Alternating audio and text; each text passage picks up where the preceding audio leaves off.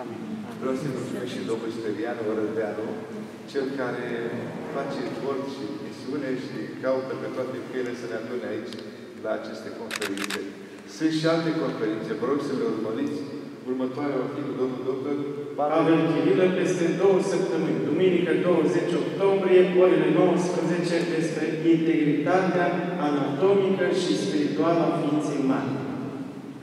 Dacă sunteți de acord, după ce așezăm scaunele la loc, să facem și o fotografie de grup cu Părintele Profesor, obișnuita fotografie de grup.